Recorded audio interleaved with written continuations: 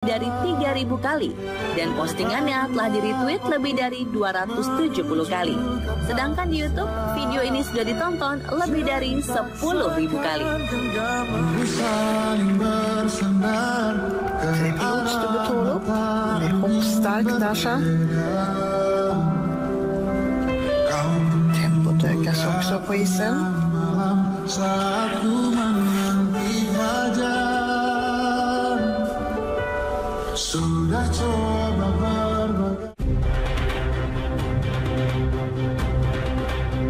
Rabu 24 Januari 2018 kemarin, salah satu akun Twitter memposting video korban pelecehan di rumah sakit kota Surabaya, Jawa Timur.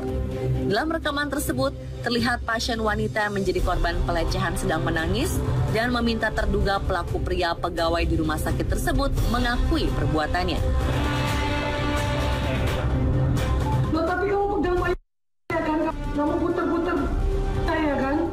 Pasien berinisial W ini mengaku bahwa pelecehan terjadi saat ia masih di bawah pengaruh obat bius atau obat penenang. Disaksikan beberapa orang termasuk pegawai dan pasien serta keluarga korban, terduga pelaku kemudian mengaku hilaf dan meminta maaf saat itu juga. Tak hanya itu, ia pun menyelami beberapa orang yang berada dalam ruangan. Kini, kasus tersebut telah ditangani pihak kepolisian.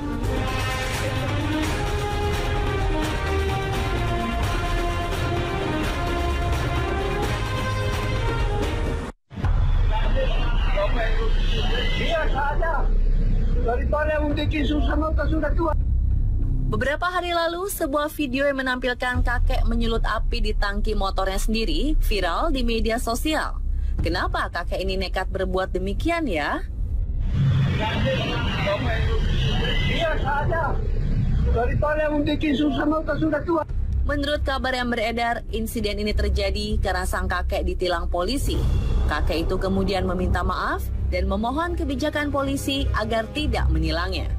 Namun polisi yang bertugas tetap menilangnya. Hal ini membuatnya kesal dan marah, lalu menyalakan api ke motornya. Setelah itu, sang kakek pun langsung meninggalkan motornya. Belakangan beredar video pengakuan sang kakek mengapa ia melakukan aksi pembakaran. Salah satunya diunggah oleh akun Facebook Afwa Al-Kawarizmi. Pak, kenapa bisa sampai Opa bakar motornya Opa? Ya bagaimana Bapak diminta kebijaksanaan tidak mau baru minta maaf juga. Saya cuma pergi beli semen. Minta bijaksana tidak mau. Orang tua sudah minta maaf. Banyak warganet yang mengomentari aksi si kakek. Ada yang prihatin dan mendukung si kakek yang sudah renta, namun ada yang juga yang menganggap bahwa hukum memang harus ditegakkan tanpa pandang bulu. Eh, kosongnya sudah menyala itu.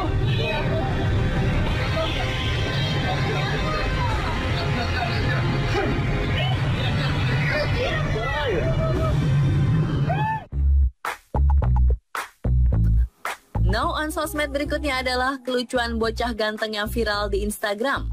Anak asal Turki bernama Mete Gursoy ini sukses mencuri perhatian warganet dunia setelah video lucunya yang tertidur saat berada di salon diposting oleh akun 9gag belum lama ini. Lihatlah bagaimana pula saya Mete Gursoy saat rambutnya di hair dryer dan disisir.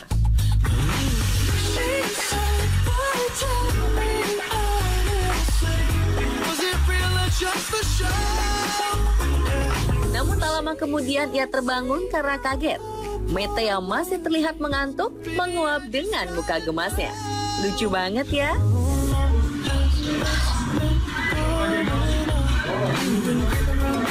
Video Mete Gurso ini telah ditonton lebih dari 8,5 juta kali. Aksi menggemaskannya ini ternyata bukan yang pertama. Sang ibu memang sering memposting foto dan video Mete di akun sosial media miliknya. Followersnya bahkan sudah mencapai angka 479 ribu.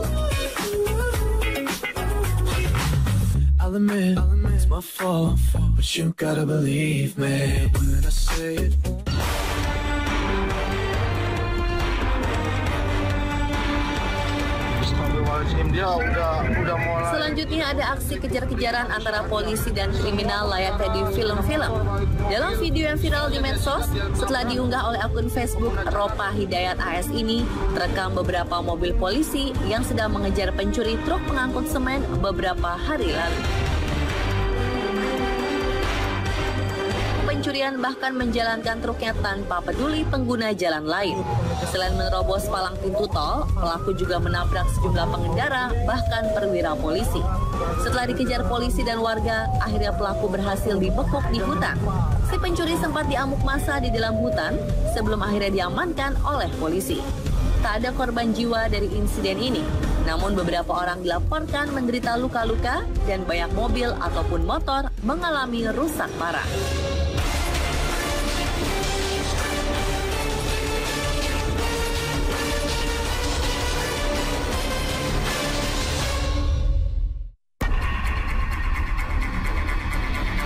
Beberapa hari kemarin, warganet marah atas penculikan puluhan ekor kera hitam Sulawesi, Macaca tonkeana. Insiden yang terekam ini diduga terjadi di kilometer 14 dan 15 wilayah kebun kopi, Jalan Poros Trans Sulawesi, Taweli Toboli, Kabupaten Parigi, Moutong, Sulawesi Tengah.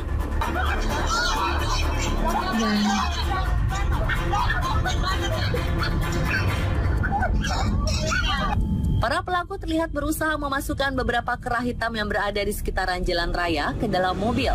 Namun hanya satu yang berhasil, sebab belasan kerah hitam lainnya melakukan perlawanan. Tak berselang lama, mobil itu pun langsung kabur meninggalkan lokasi.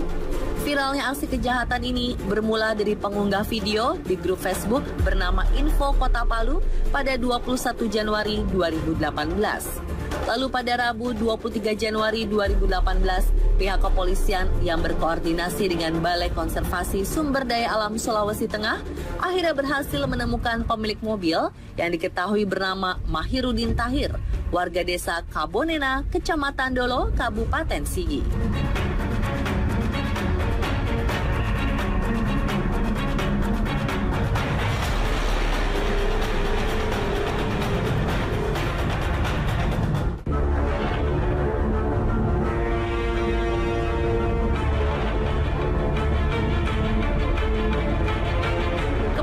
Aksi mencopet tak terlihat jelas. Namun dalam video yang viral di Facebook dan Instagram ini, aksi pencopetan di Car Free Day Jalan Muhammad Husni Tamrin Jakarta terekam jelas. Awalnya sang perekam ini hanya fokus dengan musisi jalanan yang sedang tampil di CFD. Namun tak berapa lama, ada aksi pencopetan yang terjadi tepat di depannya. Aksi tersebut pun rekam dengan jelas. Terlihat pelaku yang memakai topi mengambil barang dari saku jaket korban pencopetan diduga lebih dari dua orang ini. Lihat saja aksinya. Banyak warganet yang geram dan ingin para pelaku segera ditangkap oleh pihak kepolisian. Namun tak sedikit pula yang meragukan keaslian dari insiden tersebut. Jujur saja,